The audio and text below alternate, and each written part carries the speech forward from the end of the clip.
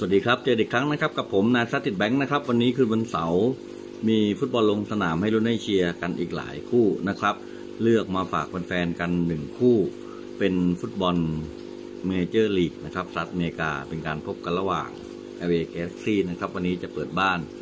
รับการมาเยือนของ Portland Timbers นะครับ LA นั้นล่าสุดอยู่อันดับ 5 ของตารางนะครับสองนัดล่าสุดนั้นพวกเขาเอาชนะลอสแอนเจลิสสามหนึ่ง แล้วก็นัดล่าสุดถล่มออสตินไปขาดลอยนะครับ 4-1 นะครับ ในขณะที่คู่แข่งอย่าง Portland Timbers นั้น 5 เกมหลังสุด ชนะเพียงแค่เกมเดียวนะครับ พวกเขาเอาชนะ Sporting Kansas นะครับ 7-2 4 เกมที่เหลือนี่แพ้รวดนะครับ แล้วก็ที่น่าสนใจก็คือ 3 เกมล่าสุดนั้น แพ้ทุกเกมนะครับ แต่ว่าเกมรับนั้น ยังมีปัญหานะครับ เจ้าถิ่นนะครับวันนี้แข้งหลักๆ อยู่กันพร้อมหน้าพร้อมตานะครับ หน้าเป้ายังเป็นฮาเวียชิชาลิโตเช่นเดิมนะครับ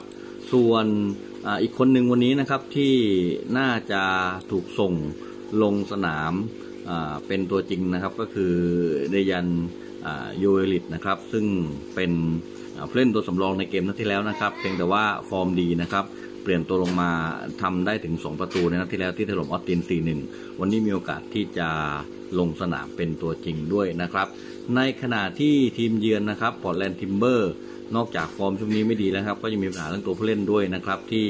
ขาดตัวหลักไปหลายคนนะครับ ไม่ว่าจะเป็นเอริควิลเลียมสันนะครับคลาดิโอบราโวนะครับยาโลสลาฟ